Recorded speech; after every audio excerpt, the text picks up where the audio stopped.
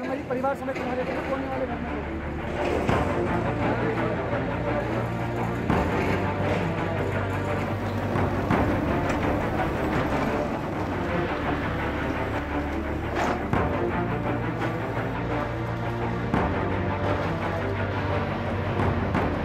जैसा कि सभी को पता है आईडीपीएल की लीज जो है ख़त्म हो चुकी है। मई 2022 में उनको छः महीने का अतिरिक्त समय भी दिया जा चुका है। और उन्होंने बार बार नोटिस भी भेजा है और साथ ही पेपर में भी प्रकाशित करके सबको सूचित किया है। अभी लेटेस्ट टाइम जो है 15 तारीख तक था जब तक इनको खाली कर देना था।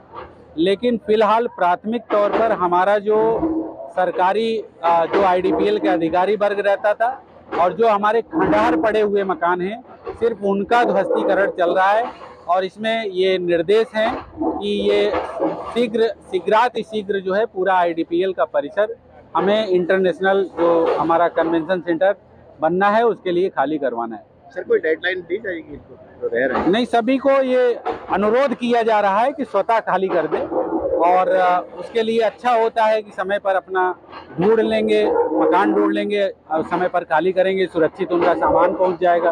किसी समय हार्सर स्थिति आ सकती है उनके लिए भी आनंद फानन में मौका नहीं मिलेगा हटाने का। तो मुझे अनुरोध है सबसे कि अपना खाली कर दें। विरोध की भी संभावना रही तो कितना फोर्स तैनात है नहीं नहीं फोर्स क्या मतलब लोगों की सुरक्षा के लिए फोर्स है हमारे पास? पर्याप्त फोर्स है। मेडिकल की सुविधा भी रखी गई मेडिकल का सुविधा हमारी 108 एम्बुलेंसेस सब हमारे अलर्ट मोड में है।